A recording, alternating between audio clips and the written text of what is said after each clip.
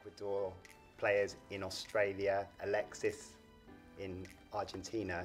Is it Mitoma in Japan? Yep. Any concerns about their, are they their fatigue, any fatigue at all?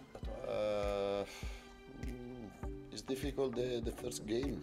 Tomorrow uh, will be a difficult game for the opponent, but for the our play who played in uh, in their nationality in different country with uh, long travel, uh, and uh, it's an important test for us because the, the we have the possibility to to change our future last two months.